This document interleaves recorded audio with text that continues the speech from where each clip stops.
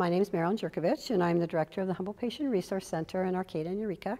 HPRC has been in operation since 1999. We're one of the oldest dispensaries in the state of California. We do have two dispensaries, one being in Eureka, one being in Arcata, and we also have where I'm standing right now, which is called The Connection. We've been here for about two years, and you can find us. We're on the corner of 4th and F. There were a lot of new dispensaries opening in the area, and I felt like it was probably a disservice to HPRC if I didn't move into Eureka also because a lot of our patients do live here. We had an opportunity to get this building, which is the old Bank of America building, and when I came in here, I thought, this will be a perfect place for the dispensary.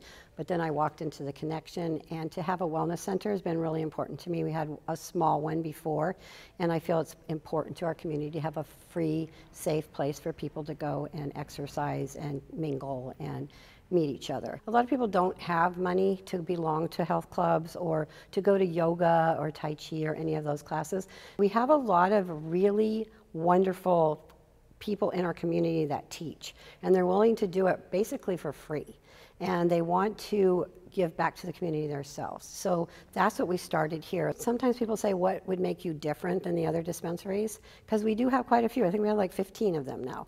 Um, and I, I would say that we're very different. One is that we've been here so long. We have a lot of knowledge. We understand what goes on everywhere with cannabis. We also have cannabis consultants that are highly trained. We are probably one of the only dispensaries that has a no pesticide policy for any smokables. We're all a little bit different, and I think it's really worth trying a lot of different places and see what they're like and see which one you feel most comfortable with and who gives you the best information or has the best products.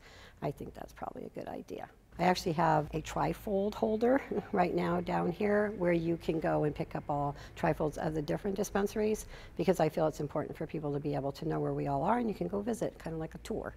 Humboldt County is very important in cannabis because we're in that Emerald Triangle area. So we've been pretty much the main drivers of cannabis for years and years. We're famous for that. I've been here since 1972. So I've seen Eureka change over that time. I have been involved with the city of Arcata and Eureka for the entire time pretty much that I have been here.